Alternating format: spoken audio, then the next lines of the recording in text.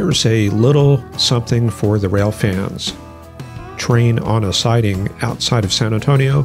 Thanks to Greg for that footage. Much appreciated. Let's take a look at that surface map.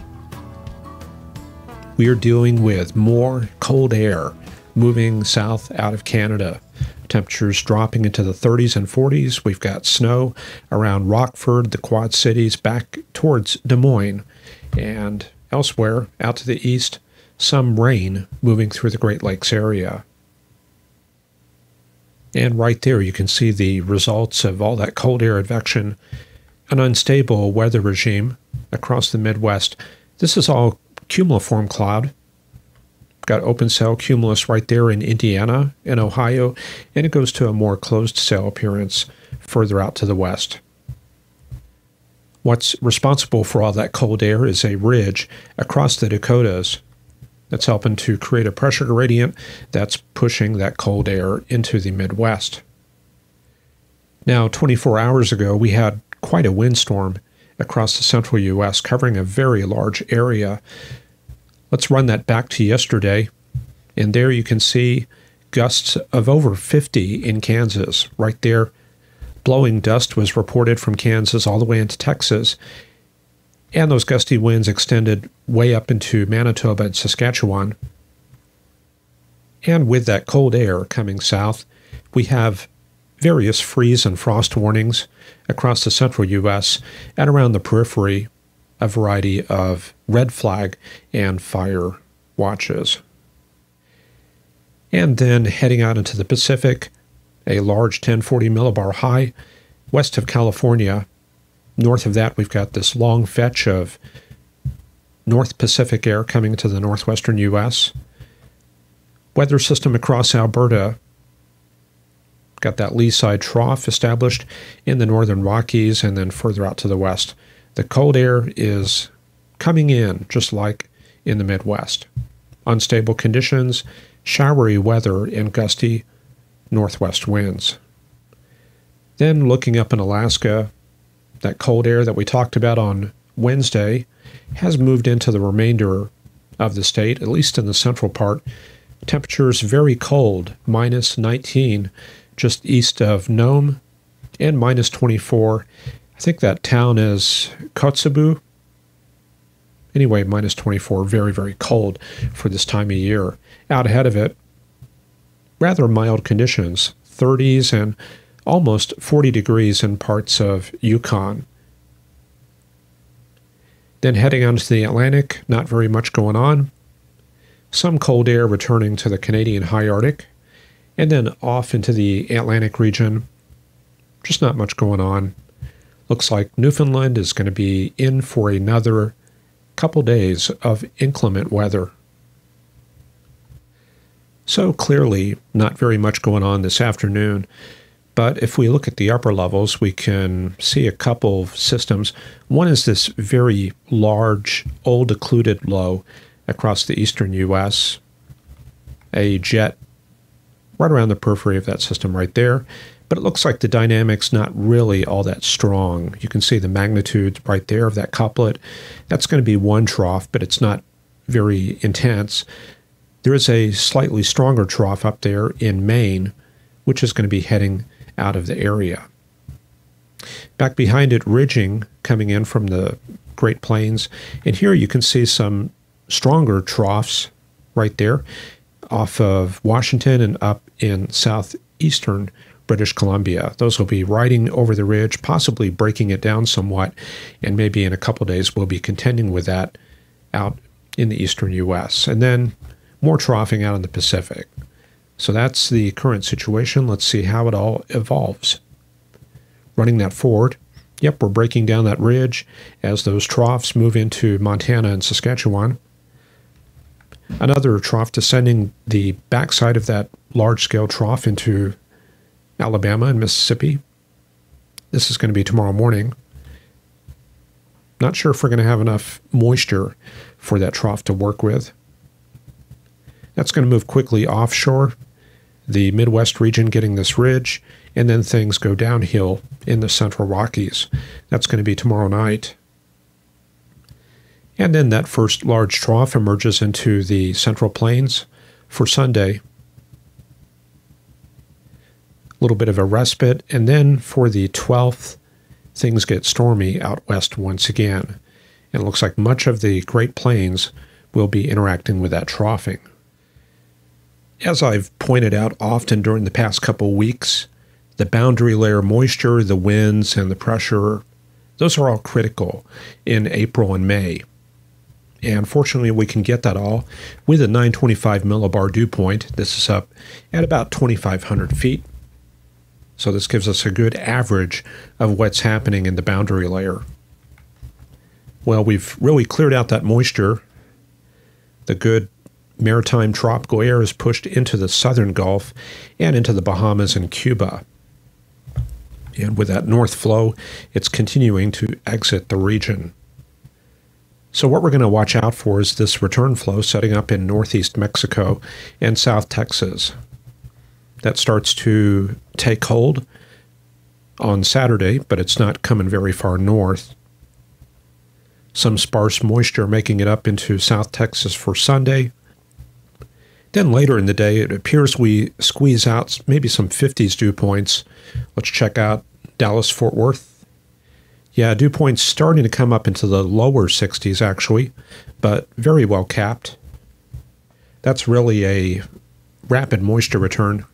We don't really like to see that on a severe weather day if we're out chasing, for example.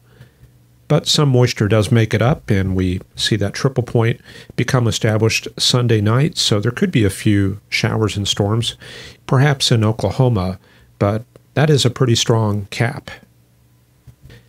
Strong push of cold air coming south and then stalling out across Texas for Monday. The flow highly veered across North Texas, so I'm not sure we're going to see much with that. And then the moisture heads north for Tuesday and Wednesday maybe some chances for storms across the Great Plains on those days, and then we cleared out once again, another blast of cold air working southeast. Then the next shot of storms after that, maybe on the high plains for Friday and Saturday, and then pushing out into the I 35 corridor for Saturday, the 16th. Let's take a look at that forecast. We can see that cold air coming through the northwestern U.S. That'll be marching through the Rockies, and then the return flow setting up in Texas for Saturday and Sunday. So you can see that take place right there. Strong pressure gradient in Texas. And then for Sunday evening, not much of anything developing. So that cap holding things pretty tight. But probably as the low level jet gets established, we'll see some nocturnal storms going up east of I 35. Cold air continues to ooze southeastward. Now we see it spreading into the Midwest region. Some scattered storms along that boundary, and then another push of cold air working into the Rockies, and there could be some strong snow showers with that from the Dakotas down to Colorado for Tuesday. So, once again, possibly more severe weather on the lower plains going into Tuesday and Wednesday, more cold air sweeps through the lower Mississippi River Valley, possibly an MCS in the southeastern U.S. Then after that, it's pretty indeterminate, but it does look very unsettled in the western states and in the Great Plains. And today we're looking at a very warm day in California. As I record this, it's almost noon in California, but we're already up to 80 degrees around Marysville can see widespread mid 80s through Stockton and Modesto down to Fresno, and even hotter in the Los Angeles region. Again, it's almost noon, and we can see that Santa Ana is up to 97, 93 at LAX, and inland, the Inland Empire, lower 90s. And with that, we'll probably be setting records for today. Burbank expected to come up to 100 degrees, 96 at Camarillo, breaking the record by 10 degrees, and San Diego expecting 92, breaking their record by 5 degrees. Looks like some moderation for tomorrow in California as that cold front works its way eastward. However, record lows expected for Mississippi and Louisiana. That cold air advection bringing some very cool overnight conditions tonight, and we're expecting 35 at Greenwood and 38 at Monroe.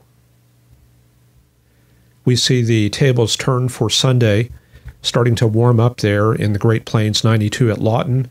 On the other hand, 36 at Arcata, California, with that cold air flowing in.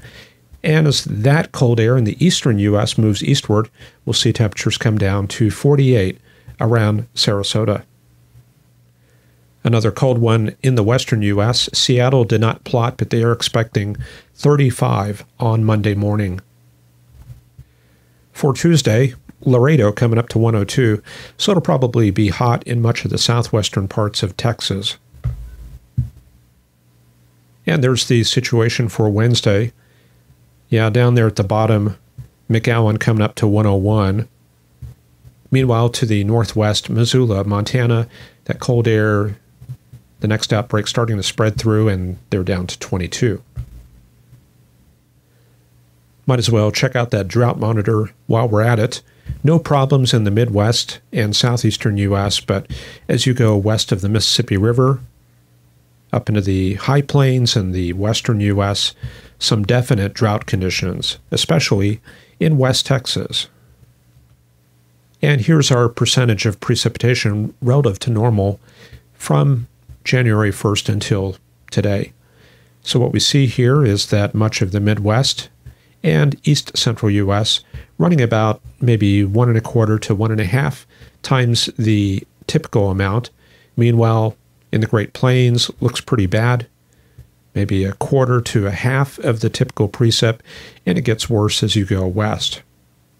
So this could mean that the cap will be quite dominant during these severe weather episodes because much of the air that falls in behind the dry line during these powerful weather systems that originates from the plateau regions and the southwestern US. And if it's dry, it can heat up much more easily, and that means stronger cap temperatures. So we can't really translate that to tornado risk or anything like that. That just tells us maybe strong caps are one thing that we'll contend with on a lot of severe weather days. And I think that's probably a good place to stop for today. I think when we come back Monday and possibly again on Wednesday, we'll be dealing with maybe a bit of severe weather. And we are having problems with CenturyLink service, keeping us busy, and I'm going to get back and work on that for a while. Nothing from Big Rig Steve. He is around the Chicago area. His stream is not up, so we'll check back in on him next week. Anyway, I hope you all have a great weekend. Here's some more footage from San Antonio. Enjoy, and we'll see you in a few days. Bye bye.